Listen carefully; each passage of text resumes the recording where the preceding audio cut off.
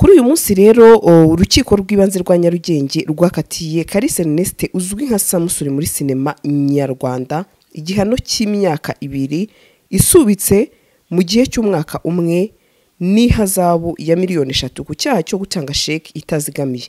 Ah, perezida w'imihanda rero rwema wari waravuze ko samusure eh, ngo iyi tariki ya makumyabiri na kabiri ngo azakatirwa ndetse uvuga ati bazakatirwa ariko ngenda ndamukatiye muri iyi ntebe. Bareba niba bikwiriye ko umuntu yajyayo akajyayo ukwiriye kujyayo koko.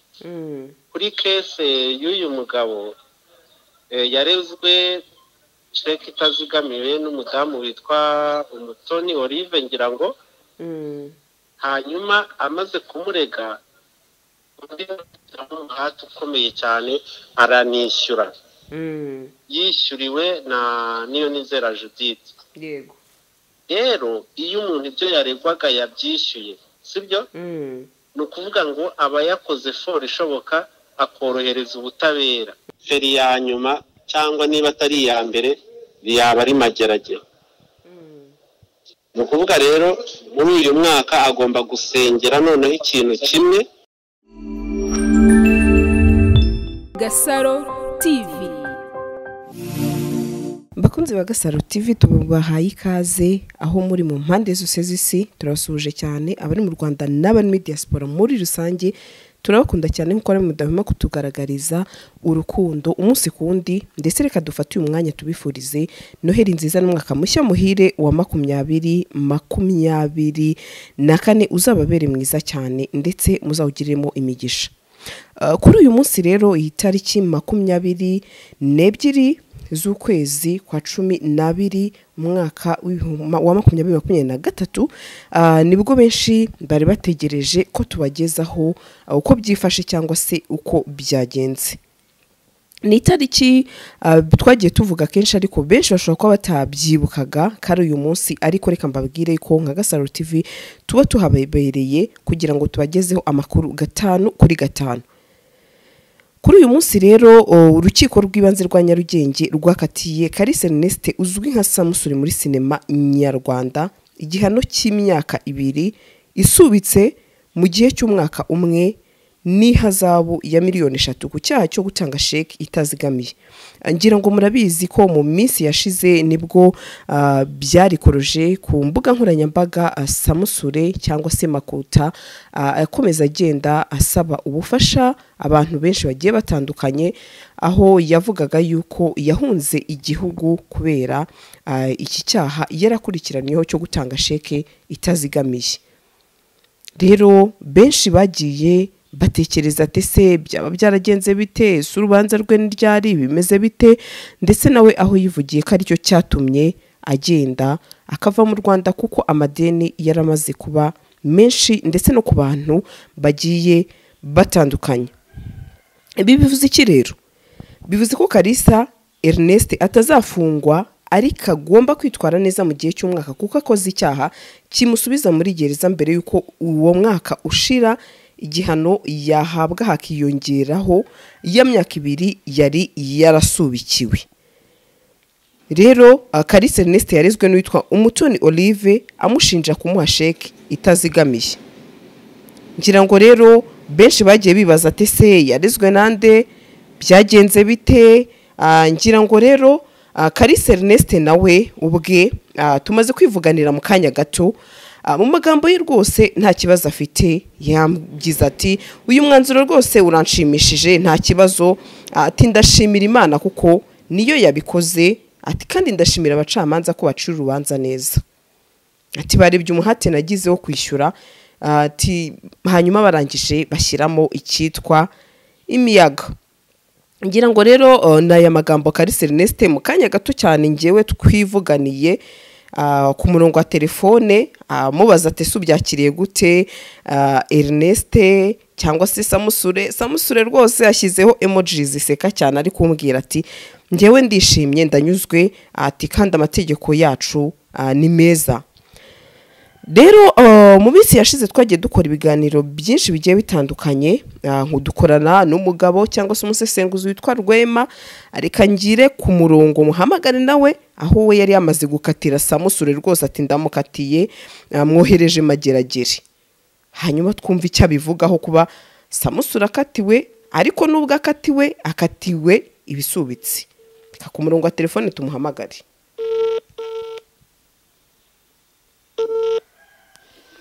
Alo mwiriwe neza rwema perezida w'imihanda. Mwiriwe neza gasaro. Mm, iyo mvuze perezida w'imihanda ubwo tuba turi gasaro tuvugana ndumva nta nta wundi muntu uragira ijwi nk'iri nimero yanjye ntayo ufite. Mfite ijwi ryawe birahagije. yego nka- rero iyo mvuze nawe nimero hari igihe utayirebaho ugahita witaba Eh, okay. Iyo mvuze perezida w'imihanda ubwo reka nkubwire ko turi ku mihanda turi live ku gasaro. Muri? Live ku gasaro?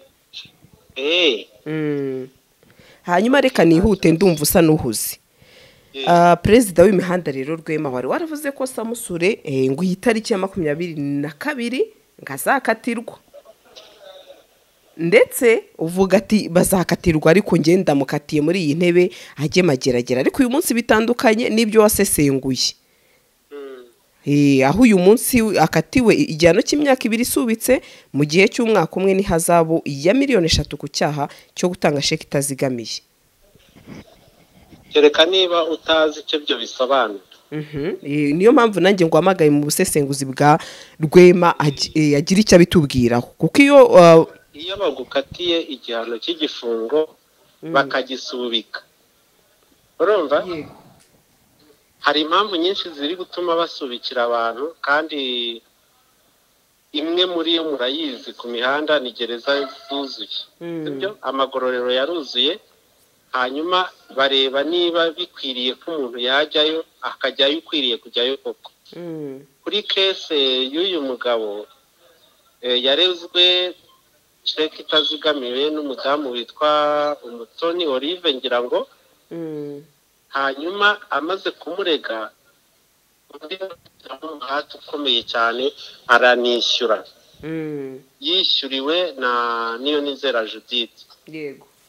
Rero iyo umuntu ibyo yaregwaga yabyishyuye sibyo? Mm, ni ukuvuga ngo aba yakoze foro ishoboka akorohereza ubutabera. Iyo woroheje ubutabera icyo bukora nabwo burakorohereza niyo mpamvu bamusubikiye. Yego. Nanjye ndi umucamanza nicaye mu ntebe y'u- y'umucamanza afite dosiye nkayisuzuma ngasanga domaje z'umuntu eh, ibyo bita uwaregeraga indishyi uwakaregeye indishyi ari nawe wagizweho ingaruka z'icyaha. Byaragenze neza ahubwo ngewe ntaragombye no kuba umucamanza ndi umushinjacyaha ntabwo nakwirwa ngushyikiriza urukiko. Mm, ni ukuvuga ngo iyo dosiye nayikarasa dore ko uwakorewe icyaha nta domaje nta ngaruka nta na perezidise yindi ihari iyo yamaze kwishyura. Mhm, hanyuma hakurikiraho iby'amategeko guhanwa ko ugomba guhanwa rwose. Iyo bagusubikiye igihano bamukatiye imyaka ibiri bayisubika mu gihe cy'umwaka umwe. Ibyo bisobanura iki? Bisobanura ko ugomba kugenda umwaka wose iminsi magana atatu mirongo itandatu n'itanu uhereye umunsi baciriyeho urubanza niba utarujuririye. Ubwo mpise mboneraho n'umwanya ntaza kubyibagirwa wo kumugira inama yo kutajurira. Sibyo kuko urabizi yuko abantu ngira inama yo kutajurira bakabikora uzi ibintu bibabaho. Mm, ni ukumara umwaka wose yigendera ku magi hejuru y'amagi. Yego. Kuko nta garanti afite yuko ejo nta wundi muntu uzatanga ikirego. Mhm, muri ba bandi bandi basigaye yavugaga ngo bamurega. Nta garanti afite yuko ejo nta wundi muntu uzatanga ikirego. Mm, ako kantu urakumvise? Nihavumbuka undi muntu rero agatanga ikindi kirego. Nacyo kiri penali agatsindwa n'urwo rubanza. Kabone n'ubwo yaba yaramwishyuye. Uzi ko abamwishyuza atari uriya oliva wenyine. Hari n'abamusoneye ba papa sava urabazi n'abandi. N'abandi ari kugenda yishyura muri kwa gu- gutera intambwe yo kubwira abantu ngo bamufashe. Havumbutsemo umwe akagenda mu bamenyekanye no mu bataramenyekana nanone akegera ribu noneho bahita bafata imyaka mishya kuri icyo cyaha gishyashya bagateranya n'iriya ibiri noneho. Kandi byo gusubikwa ntabwo biba bikibayemo. Feri ya nyuma cyangwa niba atari iya mbere yaba ari mageragere. Ni ukuvuga rero muri uyu mwaka agomba gusengera noneho ikintu kimwe kugira ngo hatazagira umuntu n'umwe utanga ikirego.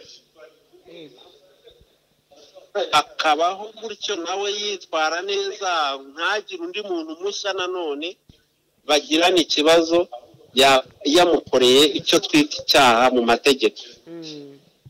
Nyuma y'uwo mwaka biba birangiye. Ntabwo uba ugifunzwe ariko kandi iriya hazabu nanone ya miliyoni eshatu na yo ntabwo ari amafaranga make gusa aho kugira ngo ujye mageragere wayatanga. Miliyoni eshatu aho kugira ngo ujye mageragere wayatanga. Gusa byo nta kibikuraho uko wabigenza kose byakurwaho n'urubanza rw'ubujurire ruherereye urukiko ruramutse ruherereye mu ruhande rwawe. Kandi iyo ujuriye bagusubikiye icyaha gifitiwe ibimenyetso. Barakongeza rwose. Ibyo ni ibintu bisanzwe.